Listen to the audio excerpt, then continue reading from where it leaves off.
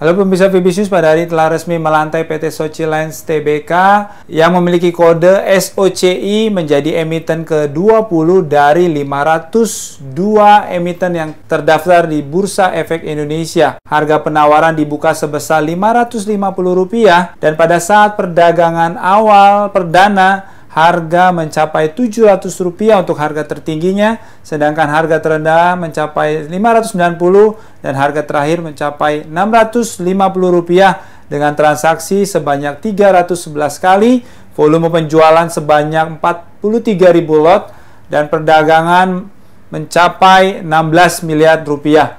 Berikut adalah penuturan Go Darmadi selaku Presiden Direktur PT Sochi Lines Tbk. Setelah 35 tahun terus kami berjuang membangun dan membesarkan Sochi Lines sehingga menjadi perusahaan transportasi migas terbesar di Indonesia. Usaha dari perjuangan berat yang telah kami lalui selama tiga tahun lebih untuk mempersiapkan diri sebagai perusahaan terbuka.